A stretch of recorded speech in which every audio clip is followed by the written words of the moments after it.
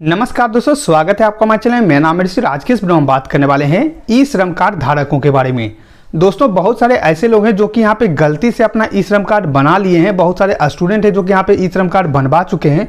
या फिर बहुत सारे ऐसे लोग हैं जिनका कि यहाँ पे जो है पीएफ करता है या फिर जो है इनकम टैक्स पेयर है और उन लोगों ने भी यहाँ पे जो अपना ई श्रम कार्ड है उसको बनवा रखा है।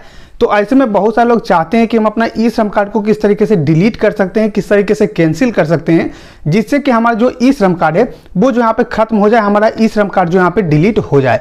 तो आज के इस वीडियो को हम जानकारी देने वाले हैं कि अगर आप एक स्टूडेंट हैं और आपने गलती से यहाँ पे ई श्रम कार्ड बनवा लिया है, या फिर आपका यहाँ पे जो पीएफ करता है, या फिर आप जो इनकम टैक्स पेयर हैं और आपने गलती से अपना जो ई श्रम कार्ड है, उसको बनवा लिया है तो ऐसे में आप जो इसको कैंसिल किस तरीके से करवा सकते हैं, आप जो है ई श्रम कार्ड को डिलीट किस प्रकार से कर पाइएगा, आज के इस वीडियो को हम जानकारी देने वाले हैं। दोस्तों, बहुत सारे लोग यहाँ पे मैसेज करते रहते हैं कमेंट करते रहते हैं कि, सर स्टूडेंट का यहाँ पे बनवाना है या फिर नहीं बनवाना है? तो इस पर मैंने जो प्रॉपर एक वीडियो बना रखा है। आप हमारे चैनल पे चले जाइए, वहाँ पे आप लोगों को वीडियो मिल जाएगा। उस वीडियो को आप एक बार अच्छी तरीके से देख लीजिए। आपको पूरी तरीके से समझ में आ जाएगा कि स्टूडेंट को यहाँ पे ई श्रम कार्ड बनवाना है या फिर नहीं बनवाना है। अभी फ़िलहाल हम बात करते हैं कि आप लोगों को इसको डिलीट किस प्रकार से करना है या फिर कैंसिल किस प्रकार से आप लोगों का जो ई श्रम कार्ड है उसको करना है वो हम आप लोगों को यहाँ पे बताते हैं। तो वीडियो को पूरा लास्ट तक का देखते रहिए। उससे पहले अगर आपने हमारे चैनल को सब्सक्राइब नहीं किया है तो नीचे रेड कलर सब्सक्राइब बटन दबा हमारे चैनल को सब्सक्राइब कीजिए। लाइक इस वीडियो को जितना उसका शेयर कीजिए ताकि और भी लोग को जानकारी मिल सके।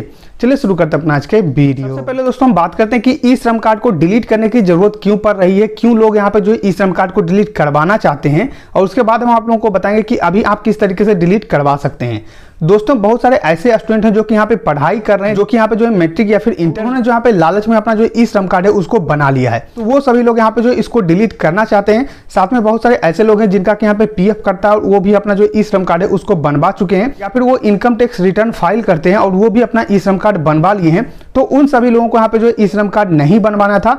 जो स्टूडेंट है उनको यहाँ पे ई श्रम कार्ड नहीं बनवाना चाहिए क्योंकि आगे चल के जब आप यहाँ पे नौकरी कीजिएगा तो उसमें आप लोग को प्रॉब्लम हो सकती है और आप लोग को दिक्कत यहाँ पे देखने को मिल जाएगा। दोस्तों, ई श्रम कार्ड इसलिए बनाया जा रहा है कि आप लोगों का एक यूनिक आइडेंटिटी हो जाएगा कि आप जो है एक श्रमिक हैं, आप जो यहाँ पे स्वरोजगार करने वाले लोग हैं। तो आप लोगों का कोई भी योजना यहाँ पे आता है तो सरकार आप लोगों को डायरेक्ट जो है उस योजना का बेनिफिट दे सके और इसलिए आप लोगों का ई श्रम कार्ड बनाया जा रहा है। तो अगर आप स्टूडेंट हैं और पढ़ाई कर रहे हैं और आगे चल के आप जो है नौकरी करना चाहते हैं और आप जो अपना यहाँ पे नाम इसमें जुड़वा लेते हैं तो सरकार की नज़र में आप जो एक श्रमिक हो जाइएगा, एक यहाँ पे काम करने वाले लोग हो जाइएगा, एक असंगठित यहाँ पे मजदूर हो जाइएगा। तो ऐसे में आप लोग को बहुत सारा दिक्कत यहाँ पे हो सकता है। और ये जो है, आप लोगों के आधार कार्ड से लिंक है तो ऐसे में आप लोगों को परेशानी आगे चल के हो सकती है। तो इसलिए लोग जो है, इसको डिलीट करवाना चाहते हैं। अब बात करते हैं दोस्तों कि अभी फ़िलहाल किस तरीके से आप जो है ई श्रम कार्ड को डिलीट कर सकते हैं। डिलीट कर सकते हैं या फिर नहीं कर सकते हैं, वो भी हम आप लोगों को यहाँ पे बताते हैं। दोस्तों, अभी अगर आप यहाँ पे ई श्रम कार्ड को कैंसिल करवाना चाहते हैं या फिर डिलीट करवाना चाहते हैं तो ऐसा कुछ भी ऑप्शन आप लोगों को देखने को नहीं मिलता है। आप जब यहाँ पे जो है लॉगिन करते हैं, अपने रजिस्ट्रेशन वाला जो पेज है, उससे लॉगिन करते हैं तो वहाँ पे आप लोगों को डिलीट या फिर कैंसिल का कोई भी ऑप्शन देखने को नहीं मिलता है।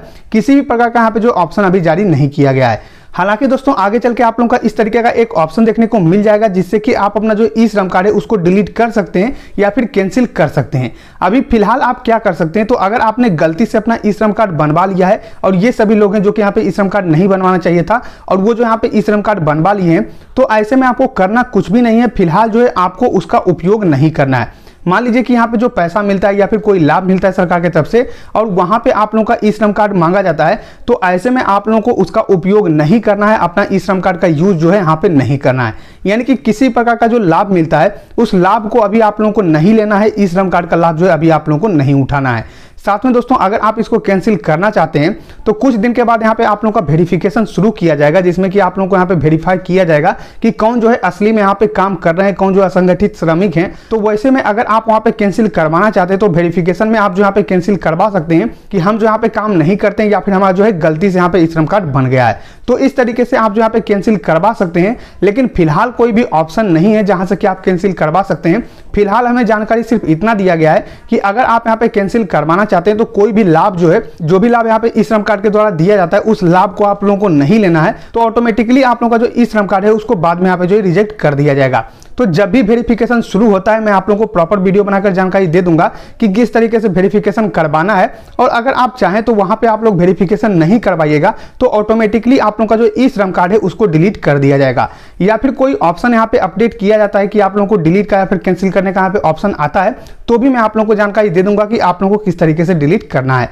तो फ़िलहाल आप जो यहाँ पे डिलीट नहीं कर सकते हैं, फ़िलहाल आप कुछ भी नहीं कर सकते हैं तो इसलिए अगर आप यहाँ पे ई श्रम कार्ड बनवाते हैं तो सोच समझकर ई श्रम कार्ड बनवाइएगा। आप अपने आसपास के जो लोग होंगे, उनको भी आप बता दीजिएगा कि अगर आप ई श्रम कार्ड बनवा रहे हैं तो थोड़ा ध्यान से आप लोग ई श्रम कार्ड बनवाइएगा। आशा करते हैं कि आपको वीडियो पसंद आएगा अगर ये वीडियो पसंद आए तो लाइक कीजिए इस वीडियो को, सब्सक्राइब कीजिए हमारे चैनल को, साथ ही शेयर कीजिए इस वीडियो को ताकि और भी लोग को जानकारी मिल सके। मिलते नेक्स्ट में तक के लिए धन्यवाद।